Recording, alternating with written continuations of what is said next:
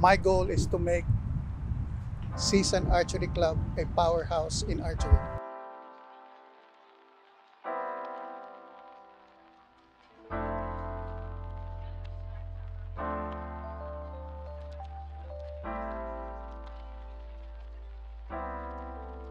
My name is David Torres, and I'm the CSUN Archery Club president.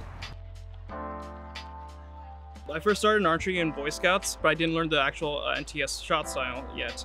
Uh, once I joined CSUN Archery, that's where I was instructed on NTS, and there's something attractive about shooting an arrow out from your bow, and I've been shooting ever since.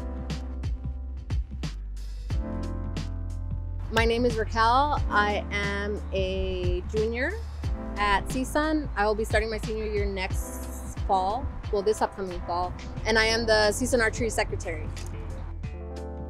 I took an interest in archery because uh, my favorite game is Zelda, and Link uses a bow, so that's what sparked it. We're trying to really make the club like come together, feel like a family. So it's it's doing pretty. We're kind of succeeding at that. What amazes me about CSUN Archery is that all, all the archers here are really dedicated. You don't see this a lot in collegiate archery. A lot of them are just there to shoot with people, hang out, and of course these guys are here for that too, but these everyone wants to com uh, compete. When you love a sport, you just want to spread it. So I really want to see everyone enjoy archery to the most potential they can. So if people want to learn archery, I'm more than happy to teach it.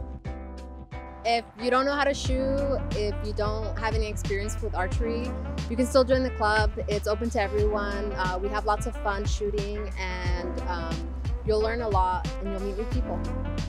I've been shooting for the past, I would say, 15 years.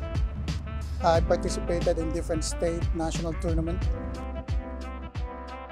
I just hope that some of the seasoned students will come out and see how they practice. This is a sport where it is open to everyone and it's a lifelong sport.